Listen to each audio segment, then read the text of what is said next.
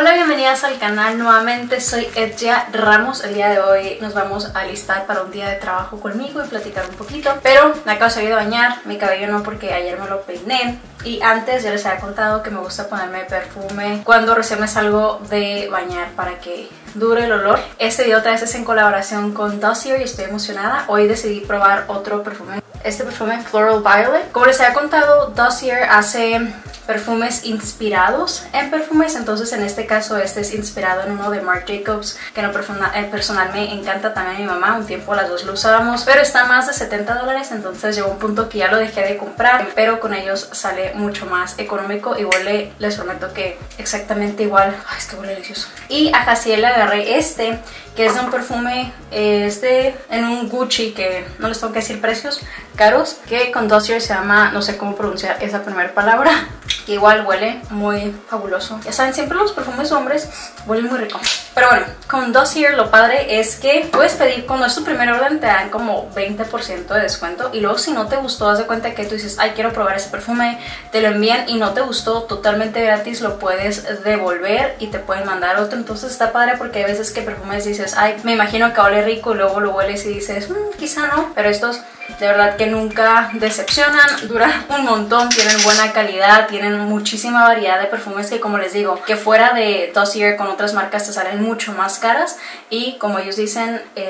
los olores no le pertenecen a nadie, entonces les recomiendo mucho que vean su website y que vean las diferentes eh, opciones que tienen. Pero como les digo, esta es mi, mi, rutina de que vamos a trabajar, ahorita primero me voy a listar la cara, ahorita voy a lidiar con mi cabello, como les digo, es que ayer me lo sequé porque estaba haciendo algunas grabaciones para el lanzamiento de mi libro Nuestro Den, que ya lo pueden obtener. Entonces obviamente tengo que aprovechar este cabello. Pero lo primero que voy a hacer como es esta cara de la mañana, que no les voy a decir qué hora es porque ya es bastante tarde, pero trato de no lavármela mañana y noche porque luego se me reseca bastante. Ustedes saben que tengo rosacea y luego ahorita con el cambio de clima toda la traigo mucho más irritada. Entonces trato de que nada más en la mañana con pura agüita. Si es que realmente me la lavé en la noche, a veces admito que me aflojera y solamente como que me quito el maquillaje pero no me lavo la cara y eso sí, en la mañana siguiente hasta me exfolio la piel. ¿Exfolio? Exfolio, no sé cómo se dice, díganme cómo se dice. Pero ahorita nada más con pura agüita voy a quitar como que la grasita de la noche y continuar con mi rutina.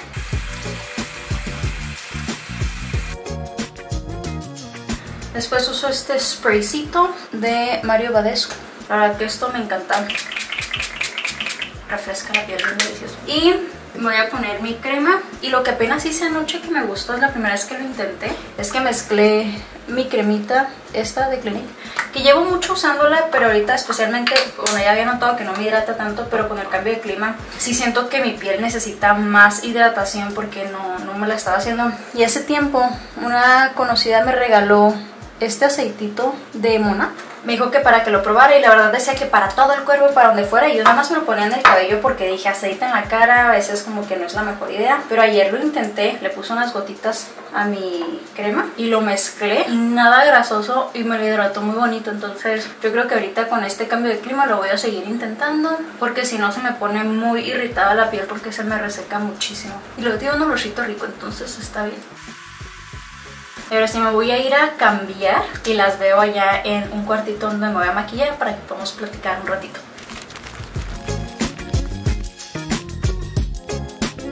Ya estoy cambiadita, nada, puse ropa de deporte porque eh, pues voy a estar aquí en la casa todo el día, tengo que grabar algunos videos, así él está en casa enfermito, tengo cosas, cosas que hacer de la casa, entonces quiero andar cómoda eh, para poder hacer todo lo que tengo que hacer, pero al mismo tiempo presentable porque claramente tengo que seguir trabajando. Ya estamos aquí, estoy aquí en la oficina, aquí hay un espejo. Aquí voy a estar porque, como les digo, Jaciel está enfermo en casa, entonces él está ahí en el cuarto descansando en la camita nuestra, pero como les digo, ya me puse, es que que vieran, pero ven cómo está bien hidratada con ese aceitito. Y me encantó, pero bueno, en lo que me maquillo,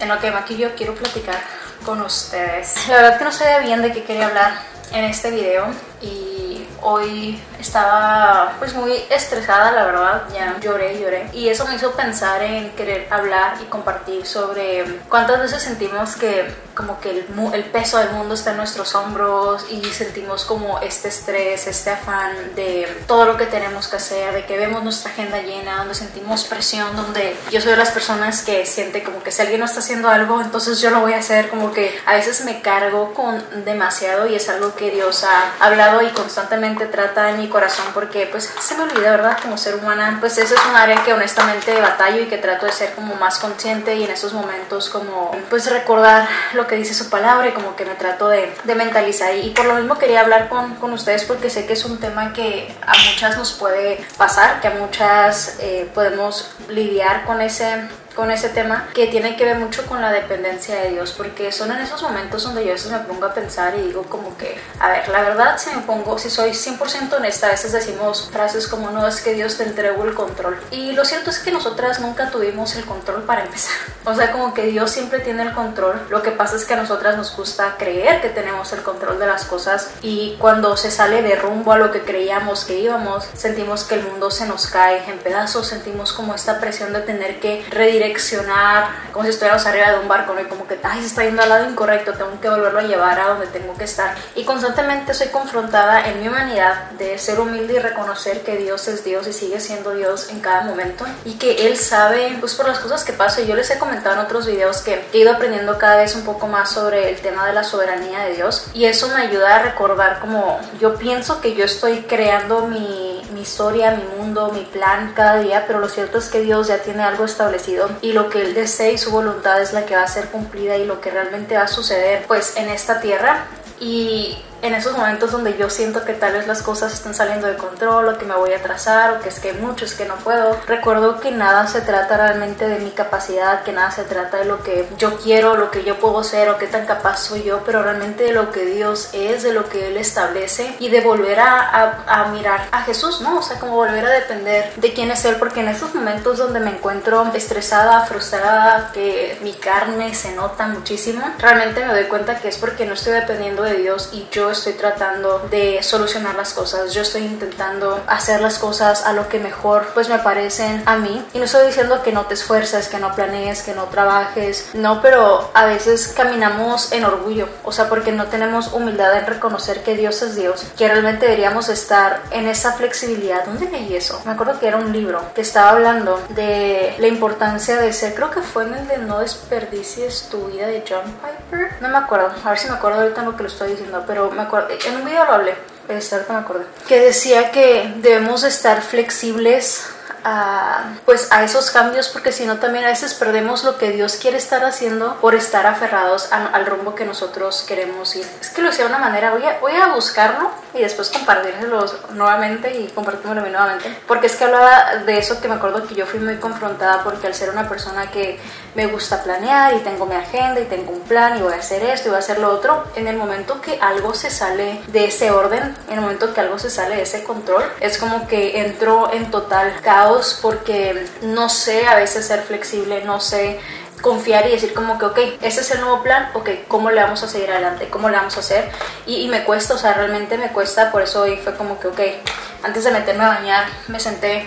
en el piso del baño le dije, Dios, enséñame a tener una perspectiva distinta, ¿no? Como que a veces, y esto siempre ha sido desde chiquita, o sea, de verdad que desde chiquita, si mis papás me decían, a las 4 de la tarde vamos a ir a comer, y llegaban las 4 y no íbamos a comer y me cambiaban el plan, me costaba mucho en mi mente lidiar con el cambio, o sea, y eso es algo que ya no estoy tan mal como cuando era niña, pero sigue siendo algo que de vez en cuando me afecta, pero siempre en esos momentos vuelvo a decirle, Dios, ¿sabes qué? O sea, tú eres Dios, tú tienes el control y confío que tú sabes lo que haces, o sea, yo sé que tú sabes mis pendientes de la casa, mis pendientes con la familia, mis pendientes de trabajo. Hoy amanecía a un mensaje de un proyecto que pues de alguna manera está muy eh, encima de tiempo. Yo ya tenía como que mi plan para el resto del año porque quiero poder disfrutar pues a la familia. Vamos a salir de la ciudad a visitar a la familia y pasar las pues Navidad y todo eso y que no me quería llevar trabajo. Entonces ahorita es como que siento, ok, va a ser más trabajo y empiezo como a estresarme, empiezo a afanarme. Pero como les digo, en esos momentos me doy cuenta de que tampoco estoy dependiendo de Dios porque Él me lo ha demostrado una y otra vez en momentos que he tenido tantas cosas en mi plato que oro y le pido a Dios por su ayuda, por su sabiduría, por su dirección. Nunca ha fallado, pero a veces en mi humanidad vuelvo a actuar como si Dios nunca ha hecho nada y que voy a entrar en pánico y estoy sola cuando realmente no estoy sola y Dios sigue siendo bueno y Dios es fiel y Él me va a capacitar para cada área de mi vida, aun si las cosas no salen como yo quiero. Él sigue siendo bueno y, y puedo seguir dependiendo de eso, o sea, sin importar el, el resultado, lo que pueda enfrentar a mi vida. Entonces, trato como que decir, ok Dios, tú vas adelante. Y me gusta hablar de estos temas y compartirles como esas luchas que también paso yo porque creo que es fácil a veces ver la vida eh, mía o de otras personas que comparten su fe y creemos como que a ellos tienen la vida perfecta, ellos sí tienen su relación con Dios al 100% y nunca fallan, pero no, o sea, todos somos humanos, tal vez vamos a batallar en áreas diferentes, tal vez va a haber una área que para ti es muy difícil que para mí no y viceversa, pero la lucha está ahí, o sea, porque a fin de cuentas somos humanos, tenemos esas, esos momentos complicados, pero que también le doy gracias a Dios porque son oportunidades para crecer, son oportunidades para mejorar. Yo sé que quisiéramos que la vida fuera esta, esta línea recta donde no hay problemas, donde nunca nos equivocamos, donde nuestra fe nunca titubea, nunca hay un problema, pero lo cierto que es parte de la vida y que también en la palabra de Dios habla de la importancia de la prueba a nuestra fe porque eso también produce paciencia y tiene como estos, estas, estos beneficios espirituales el pasar por momentos porque es donde aprendemos, o sea, como les digo, tal vez sigo luchando yo en esta área de mi vida, pero no es para nada, o sea, no se compara a cómo luchaba antes en esta área de mi vida, o sea, ha sido algo que he ido mejorando, todavía no logro superarlo, pero definitivamente no estoy en donde estaba en algún momento porque han sido justamente situaciones como estas donde voy aprendiendo cada vez más a, a correr a Dios, a que si tengo que estar orando cada cinco minutos, pues voy a tener que estar orando cada cinco minutos para volver a esa dependencia de Dios, para volver a, a confiar en que cuando mis planes se caen, Dios sigue siendo Dios, o sea, Él sigue estando sentado en el trono y tantas veces en nuestras vidas, sea con algo laboral, sea con algo familiar, con algo financiero, tomamos todo este peso como si toda la responsabilidad, como si todo estuviera sobre de nosotros en lugar de decir, ok, voy a trabajar, me voy a esforzar, pero confiando en Dios, dependiendo que Dios es el que va adelante, dependiendo que Dios conoce mi situación, que Dios conoce todo lo que hay dentro de mí y también confío en que es Él quien me va a capacitar, yo confío que es Él el que me va a guiar en cada situación. Entonces son en, en, en tiempos como estos que crecemos en esas áreas, que maduramos en esas áreas que practicamos lo que decimos creer, ¿verdad? Porque una cosa es decir, no, sí, Dios, yo confío en ti y luego llega la prueba y hacemos todo menos confiar en Dios. Y como les digo, me gusta abrir mi corazón, mi, mi vulnerabilidad, porque yo he estado en esos momentos donde siento que todos pueden menos yo. Comparo mi vida con,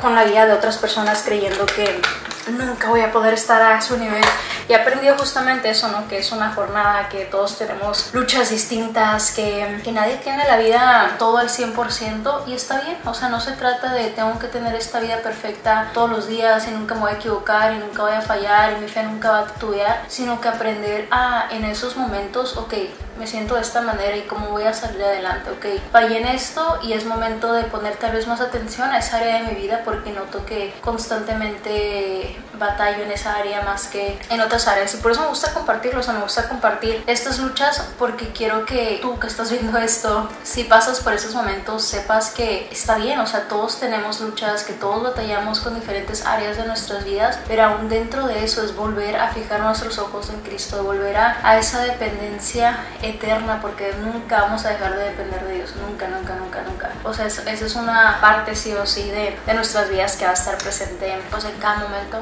la verdad. Eso es lo que, lo que yo les quería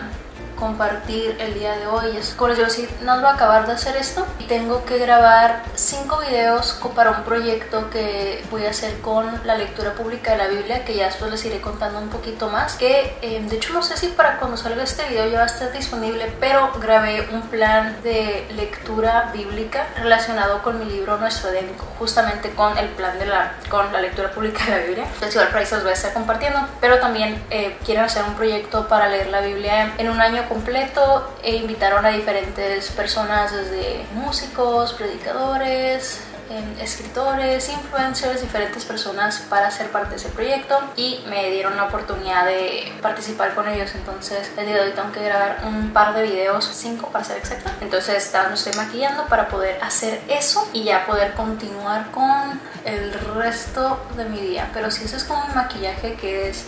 rapidito. De hecho también así me maquillé para el lanzamiento de mi libro. Que no se nota tanto aquí, pero con la cámara en zoom y con luces así se nota de maquillaje. Pero me gusta maquillarme como una manera que me sienta yo y no como disfrazada. Pero sí, hasta aquí el video del día de hoy, espero que lo hayan disfrutado, gracias por acompañarme a alistarme y nos vemos por acá después.